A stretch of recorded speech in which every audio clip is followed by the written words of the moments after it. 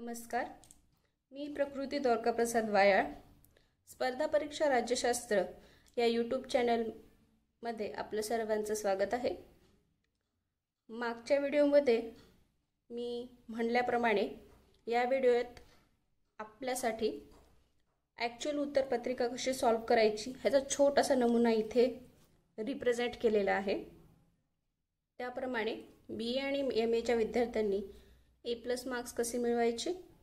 यासाठी ही उत्तरपत्रिका म्हणजे हा ही हा प्रश्न घेऊन मी इथे उत्तर सादर करण्याचा प्रयत्न केलेला आहे. हा छोटासा प्रयत्न आहे. त्याप्रमाणे तुम्ही सॉल्व करा. नक्कीच तुम्हाला ए प्लस मार्क्स मिळतील. एम एच्या पेपरला बी एच्या पेपरला मी उत्तरपत्रिका अशाच प्रकारे सॉल्व केलेली आहे. मुद्देसूद उत्तरं लिहिल्यानंतर त्यात भरपूर मार्क्स मिळणं हे निश्चितच. चला तर मग उत्तरपत्रिकेकडे वळूया. आणि हां मागच्या प्रश मागच्या व्हिडिओला भरपूर प्रतिसाद दिल्याबद्दल मी आपली आभारी आहे आणि धन्यवाद. उत्तरपत्रिकेला आपण व्हिडिओला सुरुवात करूयात. मी एक छोटासा प्रश्न घेतला आहे. या प्रश्नाचा नमुना मी इथे आणि त्याचं उत्तर इथे मांडलेलं आहे. प्रश्न असा आहे निशस्त्रीकरण म्हणजे काय? आणि निशस्त्रीकरणाचे स्वरूप आणि महत्त्व स्पष्ट करा. त्यासाठी मी स्वरूप इथे मांडलेलं आहे. छोटासा मुद्दा आहे. त्याप्रमाणे तुम्ही उत्तरपत्रिका सॉल्व्ह करण्याचा प्रयत्न करा आणि मागे दिलेले टिप्स त्या लक्षात घ्या आणि त्यानुसार अभ्यास करा. त्यानुसार उत्तरपत्रिका लिहिण्याचा प्रयत्न करा. चला तर मग उत्तरपत्रिकेला सुरुवात करूयात. प्रश्न. निशस्त्रीकरण म्हणजे काय? निशस्त्रीकरणाचे स्वरूप आणि महत्त्व स्पष्ट करा. त्यात काही मुद्दे मी स्पष्ट केले तिथे मी फक्त स्वरूप इथे स्पष्ट करणार आहे. त्याच्यासाठी पहिला पॉईंट असा आहे. प्रस्तावना. कुठल्याही उत्तराला प्रस्तावना लिहिल्यानंतरच ॲक्च्युअल प्रश्नाला हात घालणं किंवा ॲक्च्युअल प्रश्नाकडे वळणं हे गुड पॉईंट आहे. त्यासाठी आधीच प्रस्तावना लिहून घ्या. मी इथे नमुना म्हणून काही पॉईंट्स दिलेत. ॲक्च्युअल विश्लेषण पुढे देईल. निशस्त्रीकरणाची व्याख्या. प्रस्तावना झाली. त्यानंतर व्याख्या. जो ॲक्च्युअल प्रश्न आहे त्याचं स्वरूप म्हणजे जो प्रश्न आहे त्याचा तो टायटल जसं की निशस्त्रीकरणाचं स्वरूप. हा प्रश्न होता. त्याप्रमाणे स्वरूप इथं आहे. आणि त्या स्वरूपामध्ये काही पॉईंट्स दिलेले आहेत. तर काही ठिकाणी म्हणजे बी एच्या पेपरला जसे पॉईंट्स असतात त्याप्र जसे मार्क्स असतात त्याप्रमाणे पॉईंट्स लिहिणं महत्त्वाचं आहे. इथे काही पॉईंट्स दिलेत. मी दहा पॉईंट्स लिहिलेत. आणि खाली सगळ्यात शेवटी मूल्यमापन किंवा सारांश किंवा या प्रश्नाचं मूल्यमापन काय आहे हे शेवटी लिहायचं. हे काही पॉईंट्स आहेत? निशस्त्रीकरणाचे स्वरूप. पहिला पॉईंट आहे निशस्त्रीकरण सक्तीचे किंवा इच्छिक असते. दुसरा पॉईंट गुणात्मक आणि मात्रात्मक. तिसरा पॉईंट आहे सर्वसामान्य व विशिष्ट निशस्त्रीकरण. नंबर चार काळानुसार बदलते स्वरूप. नंबर पाच निशस्त्रीकरण व नियंत्रण यात फरक. नंबर सहा माचे निश्चित स्वरूप. नंबर सात गुंतागुंतीची प्रक्रिया. नंबर आठ युद्धाचा धोका कमी करणे. नंबर नऊ शस्त्रावरील कपात किंवा मर्यादा. आणि नंबर दहा शेवटचा पॉईंट शांतता प्रस्थापित करणे. हे झालं निशस्त्रीकरणाचं स्वरूप. चला आपण डिटेल माहिती घेऊयात. प्रस्तावना. मी इथे प्रस्तावना घेतली आहे प्रस्तावना. निशस्त्रीकरणाचा प्रश्न जगातील सर्व क्लिष्ट प्रश्न बनलेला आहे. दोन्ही विश्वयुद्धामध्ये झालेल्या विनाशामुळे या प्रश्नाचा विचार करणे आवश्यक आहे. जर शस्त्राचा उपयोग व शस्त्र स्पर्धा चालू राहिली तर अखिल मानवजातीचा नाश विनाश निश्चित आहे. निशस्त्रीकरण म्हणजे काही राज्याद्वारे किंवा एका राज्याद्वारे काही विशिष्ट प्रकाराची शस्त्रे किंवा सर्व प्रकारच्या शस्त्राची कपात करणे किंवा सर्व शस्त्रे पूर्णपणे नष्ट करणे होय. विभिन्न काळात मानवाने वेगवेगळ्या प्रकारची शस्त्रास्त्रे तयार केलेली आहेत.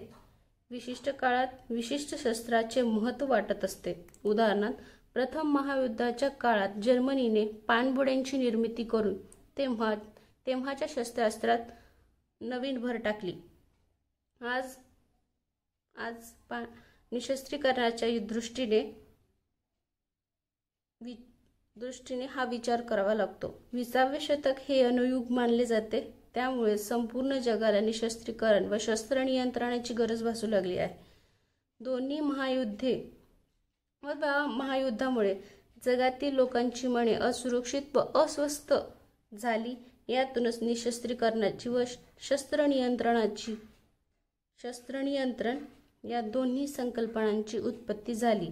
यातूनच अमेरिका व कॅनडा यांच्यामध्ये रॅश बॅगोट ॲरेट ॲग्रीमेंट हा स्थानिक स्वरूपाचा निशस्त्रीकरण करा झाला होता.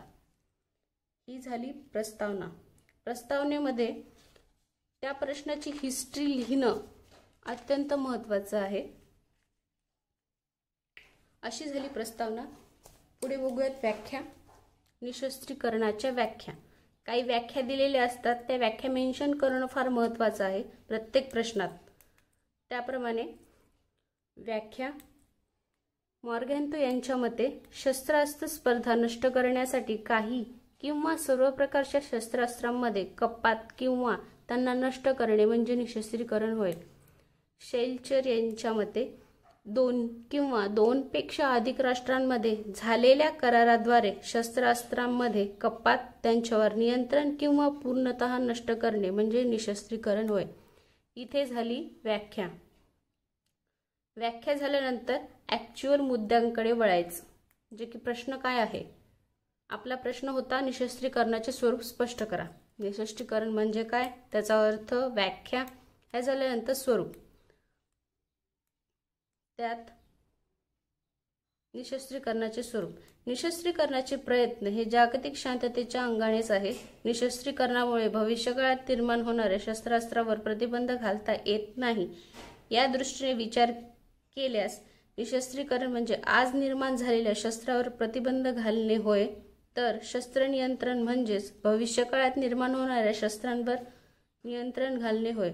परंतु शस्त्रविरहित जागतिक रचनेसाठी ही एक आवश्यक बाब आहे. त्याप्रमाणे याचे निशस्त्रीकरणाचे स्वरूप हे पुढीलप्रमाणे आहे. मी म्हणल्याप्रमाणे हा जो मुद्दा आहे निशस्त्रीकरण सक्तीचे व ऐच्छिक असते हा मुद्दा आता इथे याची पूर्ण विश्लेषण इथे बघा. निशस्त्रीकरण शक्तीचे व ऐच्छिक असते. नंबर एक पॉईंट स्वरूपमधला नंबर एक पॉईंट निशस्त्रीकरण अनेकदा सक्तीचे केले जाते. वॉयसरायच्या तहाने जर्मनीने सैनिक एकोणीसशे एक म्हणजे वॉयसरायचा तह एकोणीसशे एक्या एकोणवीस जर्मनीचे सैनिक शक्ती शक्ती शक्तीने त्यांची शक्ती सैन्य शक्ती सक्तीने कमी करण्यात आली होती. म्हणजेच इथे निशस्त्रीकरण सक्तीचे झालेले इंग्लंड. तसेच जपानची सुद्धा पहिल्या महायुद्धानंतर इंग्लंड व अमेरिकेने वॉशिंग्टन पॅटर्ननुसार लष्करी शक्ती कमी करण्यात आली. दुसऱ्या महायुद्धानंतर शस्त्र निशस्त्रीकरणाचे प्रयत्न ऐच्छिक स्वरूपाचे झाले. दुसरा पॉइंट गुणात्मक आणि मात्रात्मक. गुणात्मक आणि मात्रात्मक. हा पॉइंट गुणात्मक आणि मात्रात्मक. निशस्त्रीकरणाबाबत दुसरा प्रश्न म्हणजे निशस्त्रीकरण हे गुणात्मक म्हणजे क्वालिटेटिव्ह असावे किंवा मात्रात्मक क्वांटिटेटिव्ह असावे. हा हा होता. गुणात्मक निशस्त्रीकरणात काही विशिष्ट स्वरूपाची शस्त्रे नष्ट करावी. तर अण्वस्त्रांचा त्याग करणे मात्रात्मक निशस्त्रीकरणात सर्व राष्ट्रांनी सर्व प्रकारची नश शस्त्रे नष्ट करावीत असे प्रतिपादन केले. तिसरा पॉईंट आहे सर्वमान्य सर्वसामान्य व विशिष्ट निशस्त्रीकरण. निशस्त्रीकरण सर्वसामान्य असावे याचा अर्थ सर्व प्रकारची शस्त्रास्त्रे नष्ट करून जागतिक शांतता निर्माण करावी असे म्हटले जाते. तसेच सर्व साम सर्वसामान्याचा अर्थ निशस्त्रीकरण काही भागापुरतेच किंवा काही देशापुरतेच नसावे असा आहे. चौथा पॉईंट काळानुसार बदलते स्वरूप. थोडक्यात काळानुसार निशस्त्रीकरणाचे बदल स्वरूप बदलत असते. एखाद्या विशिष्ट काळात शस्त्रास्त्राची निर्मिती ही वेगवेगळ्या पद्धतीने वाढते तसेच शस्त्रांचे महत्त्व वाढते. म्हणून त्यांच्या कपातीची मागणी केली जाते. नंबर पाच निशस्त्रीकरण व नियंत्रण यात फरक. अनेक वेळा हे दोन्ही शब्द सामान्य अर्थाने वापरले जातात परंतु यात फरक आहे. निशस्त्रीकरण म्हणजे वर्तमान वर्तमानात होत असलेल्या शस्त्रास्त्रा शस्त्रांवर प्रतिबंध घालणे होय परंतु निशस्त्रीकरण यशस्वी होण्यासाठी शस्त्र नियंत्रण आवश्यक आहे. नंबर सहा निश्चित स्वरूप.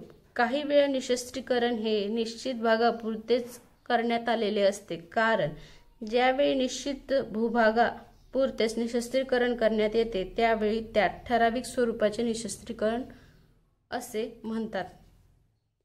नंबर पुढचा पॉईंट आहे.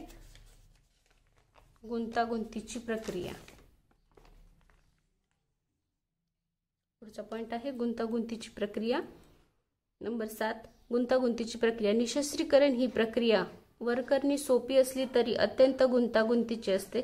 निशस्त्रीकरणाची प्रक्रिया यशस्वी होण्यासाठी शस्त्र नियंत्रणाची गरज असते. बदलत्या राजकीय घटना व सत्ता स्पर्धांवर घटकांचा होणारा परिणाम ही खूपच गुंतागुंतीची प्रक्रिया होत चालली आहे.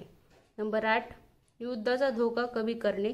निशस्त्रीकरणाच्या प्रक्रियेत युद्धाचा धोका कमी करण्यासाठी व टाळण्यासाठी अस्तित्वात असलेल्या वर्तमानकालीन शस्त्रास्त्रांचे नियंत्रण केले जाते. ते कमी केली केले जाते ती कमी केली जाते किंवा नष्ट केली जातात. नंबर नऊ शस्त्रास्त्रावरील कपात किंवा मर्यादा. निशस्त्रीकरण ही एक व्यापक संकल्पना आहे. तिचा वापर शस्त्रास्त्रांवर मर्यादा शस्त्रांवर नियंत्रण शस्त्र कपात संपूर्ण शस्त्रत्याग अशा विविध अर्थाने होत असते. नंबर दहा आणि शेवटचा पॉईंट शांतता प्रस्थापित करणे. एकमेकाच्या भीतीपोटी प्रत्येक राष्ट्र आपल्या संरक्षणासाठी शस्त्रास्त्र निर्माण करू लागली. अशा शस्त्रास्त्र निर्मितीमुळे तसेच शस्त्रसंपन्नतेमुळे राष्ट्रीय नेत्यांना युद्धांची इच्छा होते. त्यातूनच ते जवळच्या राज्यावर सीमावाद काढून आक्रमण करतात. यातूनच निशस्त्रीकरणाचे स्वरूप म्हणजेच शांतता प्रस्थापित करणं हे महत्त्वाचे ठरते. हे झाले पॉईंट्स ॲक्च्युअल पॉईंट्स जे आहेत.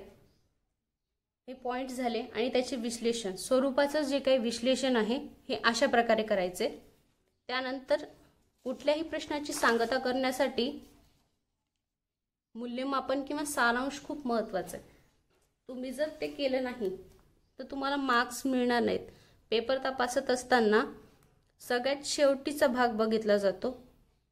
तो महत्त्वाचा आहे. पहिलं पेज आणि शेवटचं पेज हे अत्यंत व्यवस्थित पद्धतीने आपल्याला मांडता आलं पाहिजे. उत्तराची सांगता ही तितकीच महत्त्वाची आहे. त्यासाठी मूल्यमापन म्हणजेच हा शेवटचा पॉईंट आहे मूल्यमापन आणि सारांश. हे लिहिणं महत्त्वाचं आहे. त्याशिवाय तुम्हाला मार्क्स मिळणं कठीण आहे. मूल्यमापनात मी असं लिहिले मूल्यमापन म्हणजे सारांश. निशस्त्रीकरण म्हणजे शस्त्र कपात करणे की शस्त्र नष्ट करणे असा प्रश्न निर्माण होतो. संपूर्ण शस्त्र नि निशस्त्रीकरणातून अशी जागतिक पूर्ण पुनर्रचना होईल की त्यात सर्व मानवीय व भौतिक युद्ध सामग्री नष्ट केली जाईल. परंतु आजच्या वर्तमानकालीन परिस्थितीत निशस्त्रीकरणाची गरज भासू लागली आहे. त्यातूनच भविष्यकालीन परिस्थितीत तसेच भूतकालीन परिस्थितीत लक्षात घेता निशस्त्रीकरणाचे महत्त्व हे वाटू लागले आहे. म्हणूनच निशस्त्रीकरणाचे स्वरूप महत्त्व स्वरूपाचे महत्त्व अनन्यसाधारण आहे. अशी सांगता करायची आपल्या प्रश्नांची त्याप्रमाणे उत्तर लिहा. पॉईंट वाईज उत्तर जितके लिहिताल तितके तुम्हाला मार्क्स मिळतील. प्रत्येक पॉईंटला जितके मार्क्स आहेत त्यानुसार पॉईंट करा. सपोज आता या प्रश्नाला वीस मार्क्स होते. त्या वीस मार्क्सपैकी दहा पॉईंट्स मी लिहिलेत. म्हणजे प्रत्येकी दोन दोन दोन दोन दोन दोन मार्क्स पार्ट मिळालेले आहेत अशी अरेंजमेंट करायची आणि अशी उत्तरपत्रिका लिहिण्याचा प्रयत्न करायचा. हा व्हिडिओ आवडल्यास नक्कीच लाईक करा. स्पर्धा परीक्षा राज्यशास्त्र या यूट्यूब चॅनलला नक्कीच सबस्क्राईब करा. धन्यवाद. यानंतरच्या व्हिडिओमध्ये मी आपल्यासमोर टाईम मॅनेजमेंट कसा असतो किंवा प्रश्नपत्रिका कशी लिहून पूर्ण करायची वेळेत टाईम मॅनेजमेंटविषयी तुम्हाला व्हिडिओ मी नक्की देण्याचा प्रयत्न करेल. व्हिडिओ आवडल्यास लाईक करा शेअर करा. आणि स्पर्धा परीक्षा राज्यशास्त्र यूट्यूब चॅनलला सबस्क्राईब करा. धन्यवाद.